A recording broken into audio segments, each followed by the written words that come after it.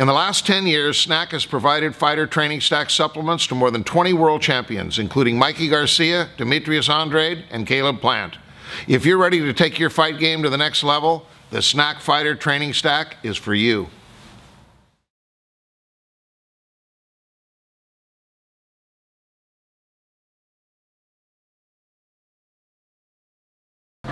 You have a good chin. He has a lot of power. Do you have to be a little bit smarter with him, or are you confident that whatever he can throw your way, you can handle it and, and still get to victory?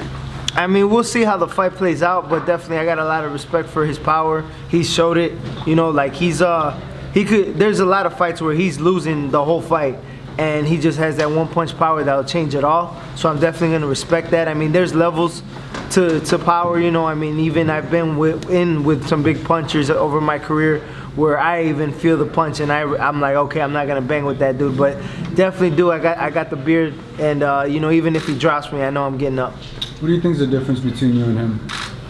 Um, I, I think I got more dog than he does. You know, like I, I I've I've watched enough fights now, and I see, you know, like he he complains a lot and kind of gets away with a lot. And, and uh, I mean, he does he does you know do what he got to do to win.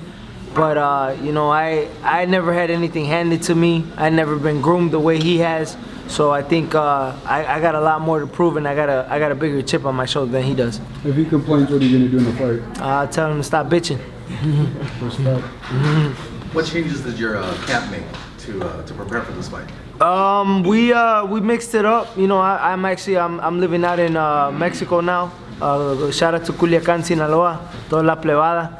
Um, I uh, I started out there, and now I'm finishing in California.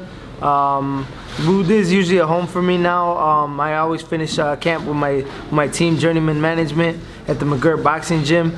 Um, you know, it's um, what I've done personally is just you know things that, that I haven't done in other camps. You know, uh, keeping my body guessing and uh, you know changing up the strength training, changing up the conditioning.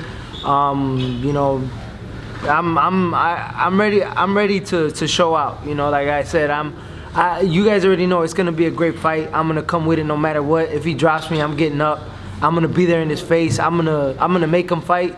Uh, but you know, I'm tired of I'm tired of just being somebody who puts on good shows. I need a big win. How's your body feel with all the changes it's going through with this training camp that you just mentioned? It feels good. I feel I feel I feel comfortable. I mean, you know, now it's a it's at a point where you know since I've never gotten the opportunities at 140, my body's actually already graduated to 147. The way I didn't want it to, I wanted to win a, a couple belts at 140 and then move up like everybody else. But I mean, the only opportunities I keep getting offered is at 147. So now I've had a, enough fights where now my body's kind of like starting to graduate to that, so I could feel like I could see the muscle in my body. I could I, I could feel, you know, like even as as I'm approaching, like I'm still above weight right now, and I'm starting to feel it. Like like back when I'm at 140, usually at 47 is when I start feeling it. Now I'm, you know, like 156, 154, and I'm like, I'm starting to feel like I do at 47. I'm like, damn, all right, I guess I'm getting bigger. yeah.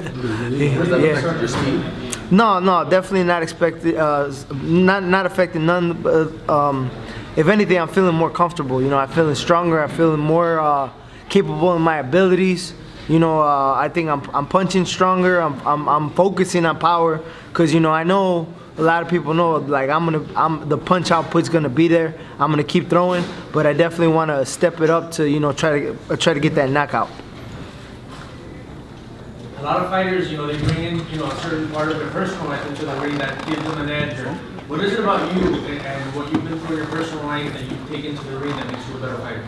No, well, yeah, like I said, I've never been handed nothing. Um, you know, like, I said, it's it's like I'm already tired of my story. You know, just getting the short end of the stick, and somebody who's a great warrior and that that'll that'll put blood and guts all the time in every fight. Fight in and fight out, I'm gonna fight you tooth, tooth and nail. But at the end of the day, if I don't get the knockout, like it's like okay, I'm, I'm gonna get a and, and you know I get I get a lot of people that just hit me up, man, you won that fight, you won that fight, you won that fight, and I'm like, I know, but but look at my record, you know, they just keep throwing these L's at me.